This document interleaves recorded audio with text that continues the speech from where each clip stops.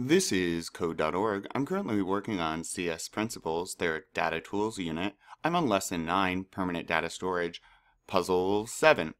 What happens when you change the object? Let's experiment by adding a property to the object and storing it again. So we'll have to pick an object. All right. Do this. Add a property to the song object, song.artist equals Beyonce. It should now have three properties, the title, the seconds, and the artist. Okay, well, let's check our data here. My songs. All right, so great, that is there. If it's not there for you, you need to go back and do the other parts of the lesson. So we need to add a property to the song that artist. Okay, so let's grab a variable, and to add a property, we can look right here. We're going to go ahead and use Yep, we're going to use dot notation. So song dot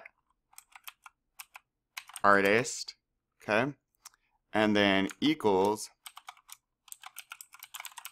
Beyonce.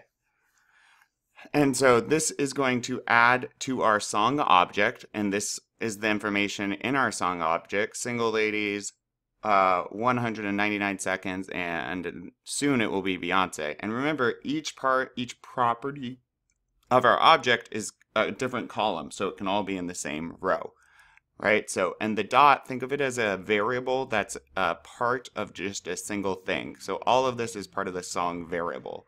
All right, let's go ahead, run the program, update the database. I'm hitting run. Ta-da! Looking good so far. Let's reset that and go to data. And I added it. Oh, interesting.